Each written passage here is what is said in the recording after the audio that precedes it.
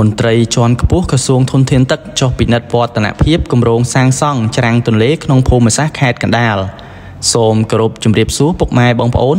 កាលពីថ្ងៃទី17ខែកុម្ភៈឆ្នាំ2024ឯកឧត្តមជីវសុនហេងរដ្ឋលេខាធិការនិងជានាយកខុទ្ទកាល័យតំណាងដល់ខ្ពង់ខ្ពស់ឯកឧត្តមថៅជាថារដ្ឋមន្ត្រីក្រសួងធនធានទឹកនិងអូតូនិយមអមដំណើរដោយឯកឧត្តមភួងចន្ទដាអនុរដ្ឋលេខាធិការនិងអគ្គនាយកដ្ឋានកិច្ចការបច្ចេកទេសនិងមន្ត្រីបច្ចេកទេសនៃនាយកដ្ឋានជលសាស្ត្រនិងការងារទន្លេបានអញ្ជើញ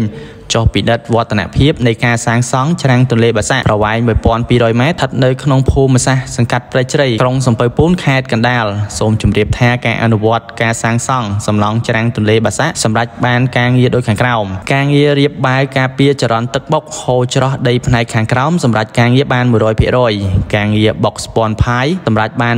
100%ការងារបុកស៊ីផាយសម្រាប់ការងារបាន70% ការងារបេតុងអាមេសម្រាប់បាន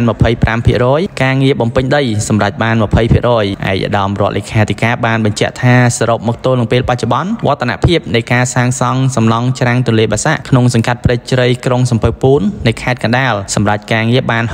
68%បើតាមគម្រោងការងារនេះនឹងបញ្ចប់ក្នុងដំណាច់ខែសីហាឆ្នាំ2024ខាងមុខនេះនេះឱកាសនោះដែរឯកឧត្តមរដ្ឋលេខាធិការបានណែនាំដល់ក្រុមការងារបច្ចេកទេសនៃនាយកដ្ឋានជលសាស្ត្រនិងការងារទន្លេឲ្យបន្តបន្តពង្រឹងផ្នែកបច្ចេកទេសនិងខិតខំពន្លឿនការអនុវត្តការងារឲ្យសម្រេចបានតាមផែនការប្រកបដោយគុណភាពនិងឆ្លើយតបតាមផែនការកាត់បន្ថយការបាក់ច្រាំងទន្លេឲ្យបានជាអតិបរមាសូមអរគុណ